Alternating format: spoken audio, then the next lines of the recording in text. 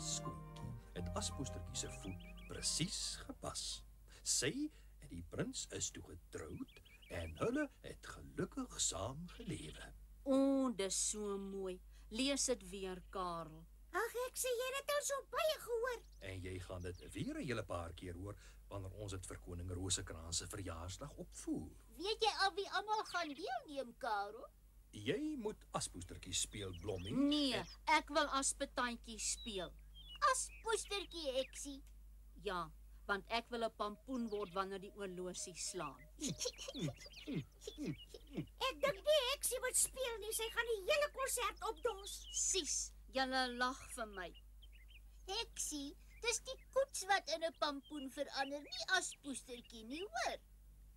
Ek het 'n bietjie vergeet van die koets. Ek het gemeen Lavinia moet die goeie fee wees, want dis sy wat al die toorwerk doen. Haai, o, dan toer ek vir Griet. Nee, Lavinia, dit moet jy nie doen nie. Julle wil nooit dat ek niks doen nie. Nooit dat jy iets doen nie, heksie. Ja, ek sê mos. Ek sê ons moet almal net maak soos die storie sê.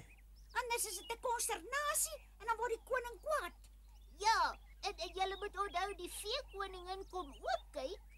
Wanneer begin ons oefen, Karel? Ons begin môre, kwaaitjie, en ons sal hard moet werk want daar's nog net 4 dae voor die koning se verjaarsdag.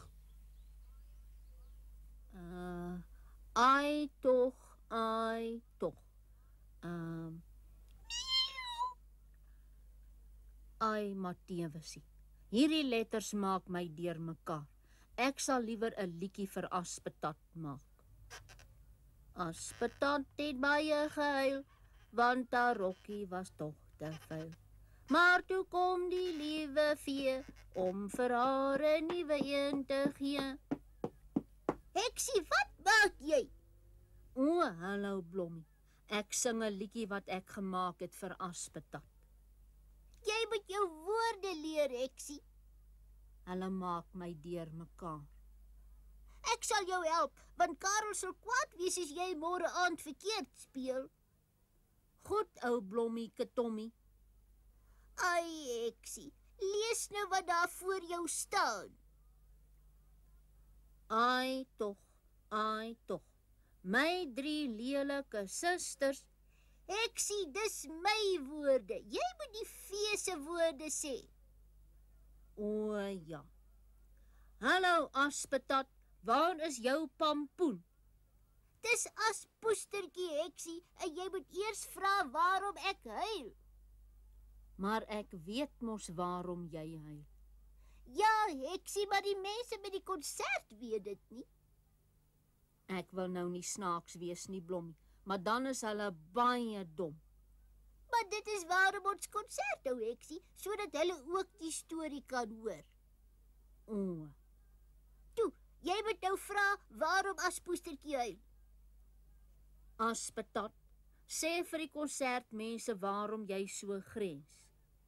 Ag, heksie, dis alles verkeerd. Jy luister nie na wat ek sê nie. Sis, jy raas met my. Ag, toe maar, toe maar heksie, ek sal nie weer raas nie. Maar jy moet nou mooi luister, anders gaan ons nooit klaar kry nie. Goed, Blommie. Sê nou mooi agter my aan. Hallo aspoestertjie, hoekom huil jy? Hallo Aspoestertjie. Hoekom huil jy?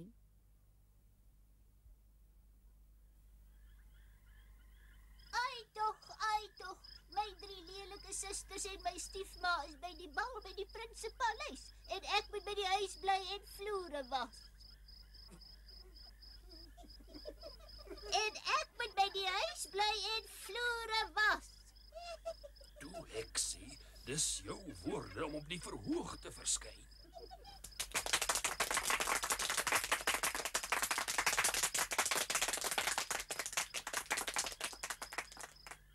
En ek moet by die huis bly en vloere was.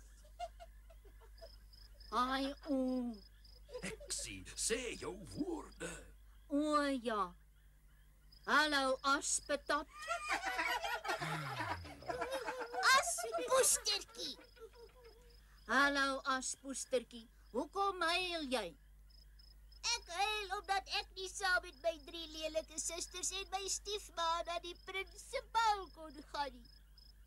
Hoekom kan jy nie gaan nie? Want ek het nie 'n mooi rokkie nie.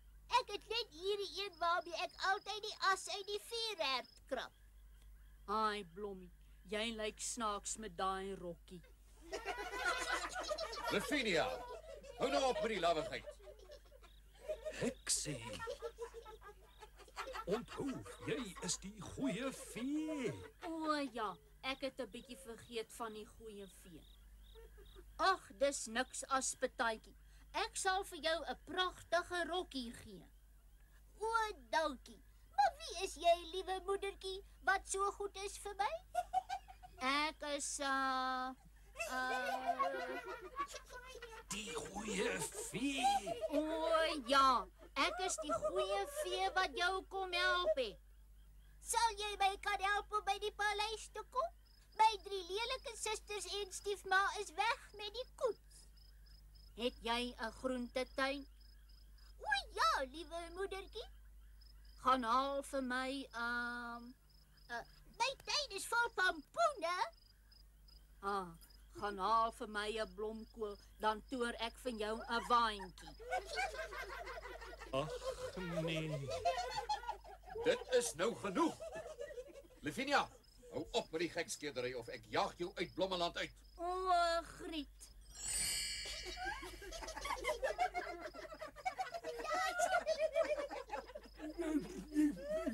Ja, Lavinia, wat kan ek vir jou doen? Ai, ek het vir Griet getoer. Hy kan nou vir Aspetat dans toe trek. Nee, ek glo nie dis heeltemal reg nie, Lavinia. Ek is nie deel van die storie nie. Ek- Natuurlik is dit nie reg nie. Lavinia Heks vat jou perd en trap uit Blommeland uit. Sis, ek is nog nie klaar met die konsert nie. Hoi, majesteit, moet asseblief nie vir heksie wegjaag nie. Maar ek het u spesiaal hierheen genooi vir my verjaardagkonsert en sy is besig om alles op te los. Ek weet nie wanneer laas ek 'n toneelopvoering so geniet het nie.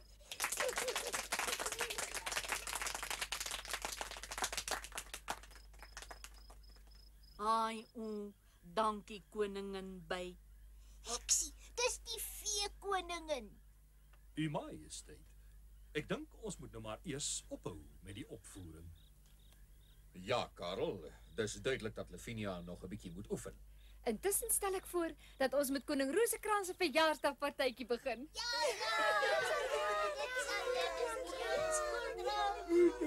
Heksie moet my eers terug toer. Toe maar, Griet, jy is nou hier. Kom hou eers saam partytjie. Ag, dankie, majesteit. Ou soetigheidjie is vir my tog al te lekker. Ja nee, en ons akteur en aktrise is seker ook al honger. O ja, u majesteit. Ja, juffrou by. En ek is die enigste heksie wat ek ken wat 'n konsertaktrise is.